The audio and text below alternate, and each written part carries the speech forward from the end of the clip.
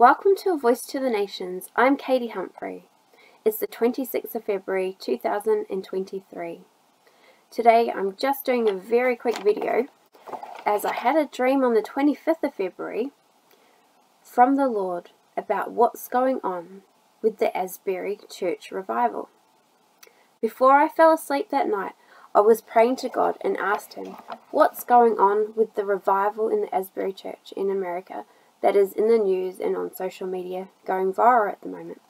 Well, when I was asleep, I had a dream which I believe was God answering my question. In this dream, in the first scene, there was an old lady who was sick, laying in bed, and she died. Then she came back to life again. This lady had a heavenly encounter when she died before she came back to life again.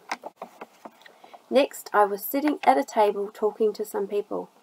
I explained to the people in my dream that God gave me a dream about the church revival in America. I said that God told me it is a move of God, not the end time revival or beginning of the end time revival, because most of the people flocking to that Asbury church are Christians. If it was a revival, most of the people flocking there would be non-Christians. So I interpret this dream to mean that that Asbury Church has come back to life again after having a heavenly encounter, which was represented by the old woman who died and came back to life again.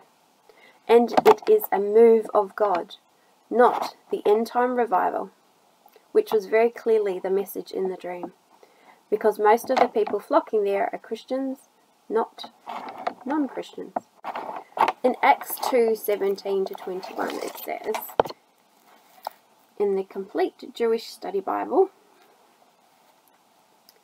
Adonai says, In the last days I will pour out from my Spirit upon everyone. Your sons and daughters will prophesy, your young men will see visions, your old men will dream dreams. Even on my slaves, both men and women, will I pour out from my spirit in those days, and they will prophesy. I will perform miracles in the sky above, and signs on the earth below blood, fire, and thick smoke. The sun will become dark, and the moon blood, before the great and fearful day of Adonai comes. And then whoever calls on the name of Adonai will be saved. Well, thanks for listening.